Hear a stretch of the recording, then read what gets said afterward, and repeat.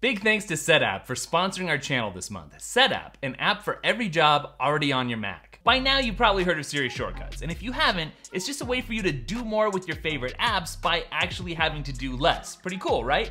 But do you understand why you should care, why Siri shortcuts are such a big deal? Today I'm gonna share four huge reasons why you should be using Siri shortcuts, along with some really creative examples of how other people are using Siri shortcuts, along with some of my favorite Siri shortcuts. But before we get into it, I wanna talk about why Siri shortcuts can seem a little intimidating and why you shouldn't be scared off. I think a lot of people are gonna do exactly this. Open up the Shortcuts app, take a look around, yawn, and then never come back because they just don't understand what all can be done and how powerful it is. And I'm gonna call this the blank paper syndrome. You know how if you have a blank piece of paper sitting on the table in front of you and you could use it to create anything at all, but the hardest part is just thinking up something great to create in the first place? That's the blank paper syndrome. But get ready to make a note because I got three resources that can really, really help you out and spark your creativity. First of all, there's a website called Sharecuts, and it's a place where people share the shortcuts that they made, and all you have to do is tap on one to start using it yourself. Second, you're definitely gonna wanna check out the Shortcuts subreddit, which is slash r slash shortcuts,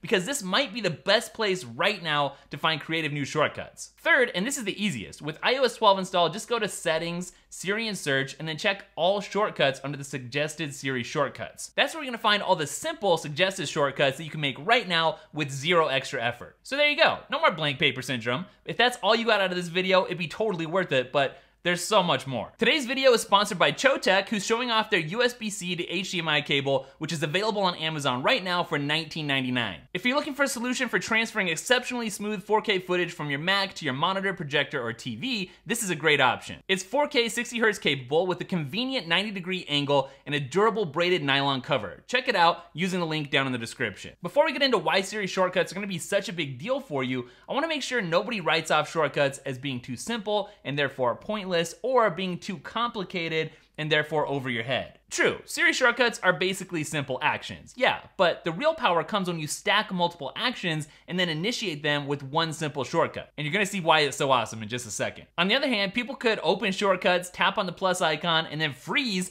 thinking that they need to be a programmer to build their own shortcut. Look, you don't have to know any code if you wanna build or use a custom Siri shortcut. You could either just use or stack what's available in the gallery, or you could adapt something that somebody's already built using those resources that I shared with you earlier. And if you do want to go deeper and build something from scratch, it's really more like visual coding. It's just drag and drop. And honestly, 30 minutes on YouTube and you'll have a pretty good idea of how it works. But still though, if that super freaks you out, then just go ahead and stick with the auto-generated suggestions. You'll be cool, but we're gonna move into why you need to be using Siri shortcuts in the first place. In just a minute, I'm gonna get to some interesting examples, but first, here are four reasons why Siri shortcuts are worth mastering. Reason number one, and this is huge, really huge, Siri shortcuts can help you get more done while spending less time doing it. It's like Gary Vee says, time is everyone's number one asset. So shortcuts can compress like 20 or 30 different actions into the pressing of a single button or the speaking of a phrase. Like I can't wait until I can figure out how to get it to promote my videos and watch as the content floods out into social media using something like Buffer. Reason number two, Siri shortcuts is your opportunity to make the Siri experience unique to you.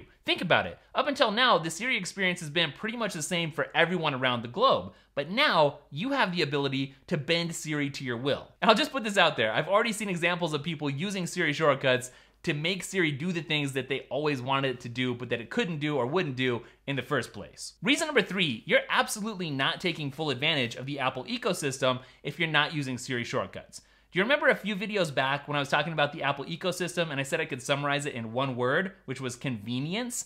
Well, Siri Shortcuts takes that convenience and spreads it out across the ecosystem even more. Of course, shortcuts show up on your phone any place that you'd want them to, in regular old Siri, on the lock screen, in the search menu, as a widget, and in the share sheet. But you'll also be able to access the shortcuts you create across the ecosystem, including on the HomePod, the Apple Watch, and even in CarPlay. Now, I'm excited about all of that, but I'm extra excited about how good the HomePod just got because this is basically putting apps on the HomePod. It's a complete game changer. Reason number four is, you guessed it, privacy because the machine learning that governs Siri shortcuts all happens on device. It's not sent out your potentially sensitive information to remote data centers. Plus, you can disable shortcut suggestions from appearing on the lock screen, lookup, or search. Now, Alexa or Google Assistant can say they can do all kinds of things that Siri can't, but here's one example of something that Siri does that the others don't. So shortcuts are definitely worth using, but here are some creative examples of how other people are using shortcuts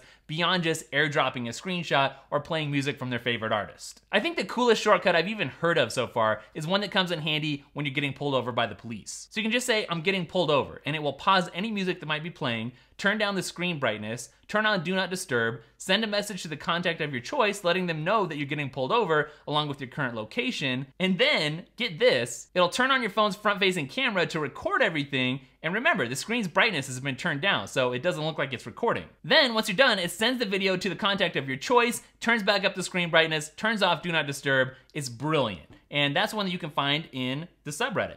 There's a dude that also created a shortcut to message his girlfriend a different version of Good Morning Babe every morning at 9 a.m. automatically.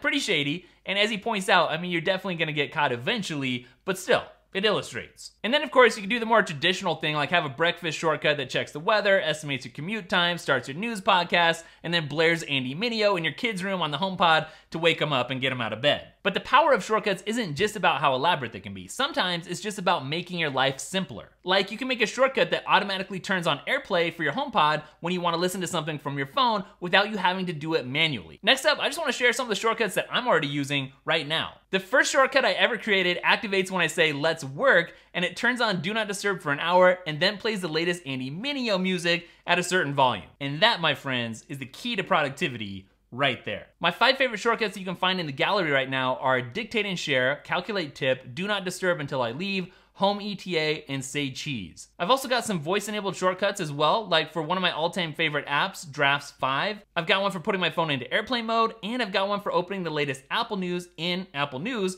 which I scan every morning and which would otherwise take several different tabs to get to. So yeah, Siri shortcuts are definitely worth spending a little time to figure out. I'm gonna link up those resources that I mentioned earlier down in the description so that you can get started. And here's a great thing, it's only going to potentially keep getting better because every app that ever exists on the platform could integrate with Siri shortcuts. And you're really just gonna be limited by your imagination with what you can create and do. So here's what would be awesome. If you've created a super amazing, useful, ultra creative shortcut, then comment about that down below because I'm sure we'd all love to see it. Or if you're not into that, like creating them, but you discovered something cool, then comment about that down below too. Or comment down below with shortcuts that you don't know how to create, but that you wish could be created. That would still be interesting, and maybe someone could help you out. Don't forget, um, at DailyTekk, spelled Daily T-E-K-K on Instagram, Twitter, Snapchat, wherever. So follow me there, and I'll catch you in the next video. Later.